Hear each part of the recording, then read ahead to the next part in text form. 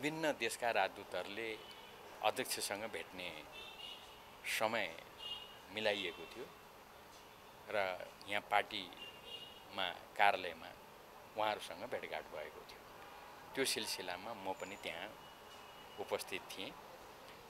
राजदूत महोदयहरू सबैले नै अध्यक्षसँग भेट्ने सबै मित्रहरूको चिन्ता र सरोकार भनेको शान्ति प्रक्रियालाई समयमै टुङ्गोमा पुर्याउनुपर्छ भन्ने नै थियो। उहाँहरूको आग्रह भनेको शान्ति प्रक्रिया जुन अथक मेहनत गरेर नेपालले सबैको एकताबद्ध प्रयासको परिणामस्वरूप सबैको सहयोगबाट यो टुङ्गोसम्म ल्याइपुर्याएको छ। त्यसका बाँकी कामहरू पनि अब चाँडै टुङ्ग्याउनुपर्छ भन्ने कुरा उहाँहरूले राख्नुभएको थियो। हामीले त्यसको बारेमा बतायौँ। अध्यक्ष गभर्मेन्टले बताउनु भयो हामीले पनि सहयोग गऱ्यौँ। र अध्यक्ष गभर्मेन्टले सबै कुरा मित्रहरूलाई के भन्नुभयो त भन्दाखेरि अहिले भर्खरै त्यो विधेयक संसदमा दर्ता हुन आइपुगेको छ। अलिक ढिलो गरी आयो। किनभने अब त संसदको समयावधिकै बारेमा प्रश्न उठ्न थालिरहेको अवस्था छ। यस्तो अवस्थामा त्यसलाई हाम्रा जुन प्रतिबद्धताहरू छन् त्यो प्रतिबद्धताहरू सम्बोधन गर्दै कसरी त्यसलाई समयमा टुङ्गोमा पुर्याउन सकिन्छ भन्ने बारेमा हामी चिन्तित छौँ र त्यसमा हामी सकारात्मक छौँ। त्यो के हो त?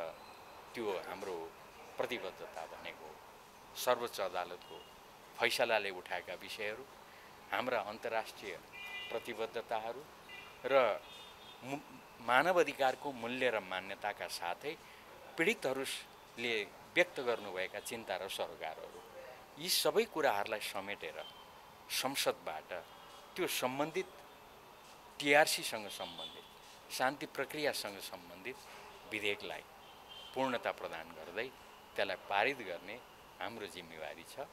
त्यो जिम्मेवारीप्रति हामी प्रष्ट छौँ तर समस्या भनेको समयावधिको छ।